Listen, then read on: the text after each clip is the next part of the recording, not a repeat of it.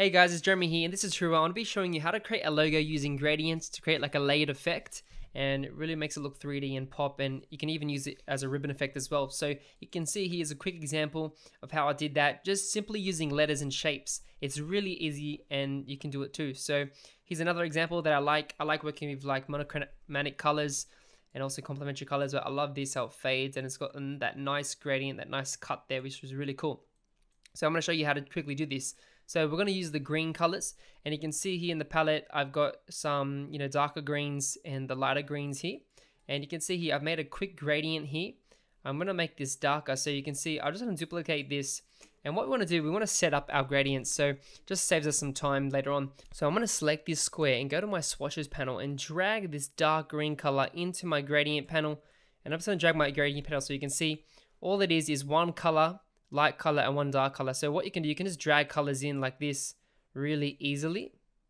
So, and then you can click and drag and just drag downwards or you can click and then click the bin over here. So if I, if I drag a swatch color, I can just click the bin or delete it.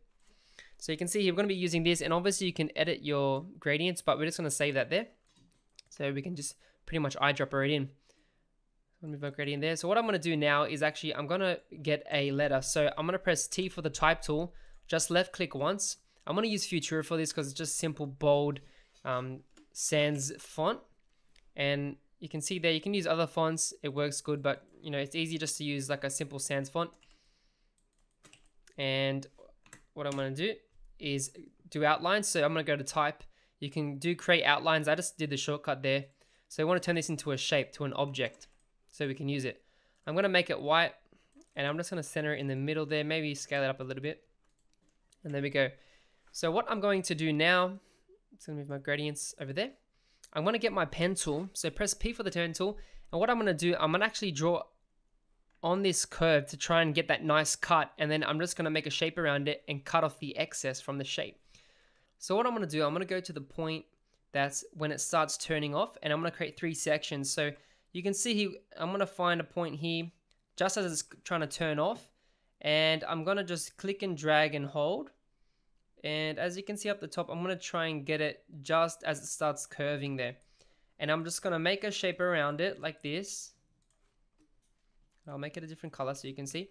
So if I press Control Y, I'll go to outline mode so you can see it's pretty much on the line there. That's pretty that's pretty cool. So that's fine. It doesn't have to be exactly unless you're like doing like a professional logo for a client has to be perfect, then you can, you know, do that. But for now, it's a, it's cool.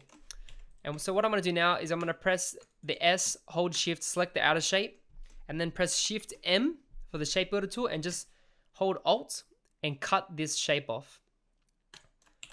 And that's how you use the shape builder tool to cut it off. As you can see there. And now we have this shape here. Try not to damage this shape because we might need to reuse it. So once again, we're going to go on the other side now and you can see how the letter has this nice curve here as it's going down to the tail. So what we're going to do, press P for the pen tool again, find a spot where I can use it to use it as a guideline. And you can see if I have smart guides, my path and my pen tool is going to click to the paths, which is really cool. So I'll find a point there and then go to the outer edge of the letter. And I'm just going to slowly hold and have that until I like it. So that looks good. So what I'm going to do is go this way. And what I'm going to do now is press Shift M, select everything, press Shift M, and then that will change to my shape builder tool. I'm going to hold Alt or Option if you're on a Mac, and then I'm going to minus this outer shape there. So now we've just made this shape here. So if I change the color, you'll see it. So we've got this shape, this shape, and we also have this shape. So what we want to do now, we want to have this middle section as well, or we can just um, so what we're going to do, we're going to duplicate this middle S. So I'm going to select it, press Control C, Control F. So that means I've duplicated it and put it like that. And what I'm going to do is I'm going to hold Shift and select these two shapes.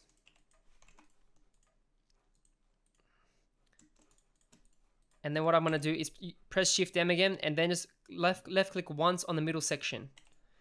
So what that's going to do, it's going to create these one shape. But what do you have to do? I'm going to double click on it, go and delete these outer shapes there. So now we have just this shape here, and we have this backup letter here. which is good. So now we have this, so I can change this color so you guys can see. So now we, you can see we've got three different shapes there. So what we're gonna do now, as we have our segments, we can start to add our gradients. So I'm just gonna select all my shapes. I'm gonna press I for the eyedropper tool, and I'm gonna select my gradient that I made here, which is this little square with the gradient on it. And the eyedropper is gonna sample that gradient and add it to my shapes here. But now you can see it's still not looking the way we want it. So we're gonna have to adjust the gradient. I also noticed that because we didn't do the line perfectly straight, you can see you got some extra extra shapes. So I just deleted that, which is totally fine. So what I'm gonna do, I'm gonna go to my gradient tool again, and I'm gonna go to the middle bar, and you can see it's the degrees, so it's an angle. So what I'm gonna do is hold shift and move my mouse wheel around till I get it to the spot here. So we wanna have the, the darkest points at the cuts. So it looks like it, it's gonna be like a 3D effect, like it's the pieces are on top of each other. So want to have it in these corners and then you can drag this little bar, the location, so it increases the gradient on one side. You can also move this point as well to make it more sharper. But just keep in mind, you can see if you don't do it well enough, it can start to see like a, just a straight, it's not blurred properly. And that look, doesn't look too good. So you want to make sure that it's has some, you know, feathering there and it sort of fades out. So that looks good. I'm going to do it to this shape here. So I'll just select this shape now.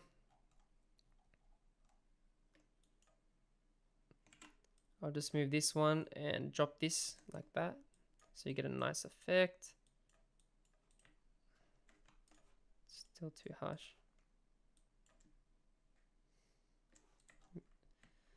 Sweet, move the angle there and it makes a big difference.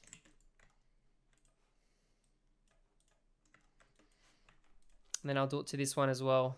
So move it around. Yeah, we try the other way. And slowly just adjusting those bars just so, you know, so it works well.